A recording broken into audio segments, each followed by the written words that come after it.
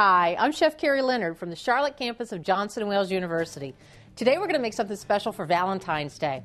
What we're going to be preparing is a cherry cheese French toast. It's a little bit different. It's made in a crock. It's going to be beautiful for that uh, morning that you might want to bring something special to someone for their uh, Valentine's Day.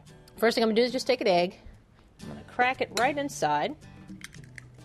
Makes it super easy. I'm just going to use my fork to break this up just a little bit.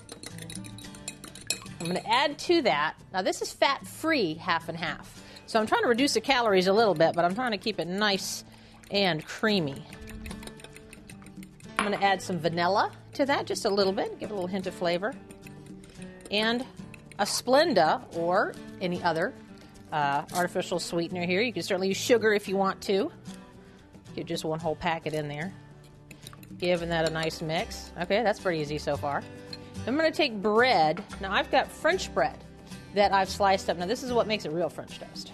I'm going to go ahead and slice this up into uh, just cubes, and I've got some prepared already over here. I'm going to just soak them right in there. I'm just going to throw them right in there in the top. This is going to give me uh, kind of a nice, almost like a bread pudding kind of feeling to the bottom of this. All right, so I've got this all soaked up in this great egg mixture. Take a little bit of butter, just a little bit. This is just a teaspoon. And I'm going to put little bits around the edge just so I can keep that little bit of uh, moisture and, of course, that good buttery flavor without putting as much as you might traditionally put in here. Now I'm going to go for my cream cheese. Two spoon method. It's the easiest way to do it. Pull out what you need, scoop it off with the other spoon. Now that I've got all that in, I'm going to take my cherries, and this is just cherry pie filling. Nothing fancy here. Get it in a can, nice and easy.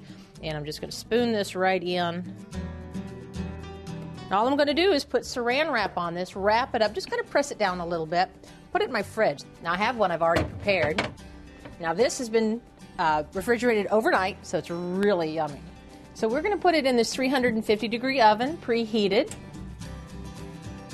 And in 20 minutes, you're going to have cherry cheese French toast, great for that Valentine's Day morning.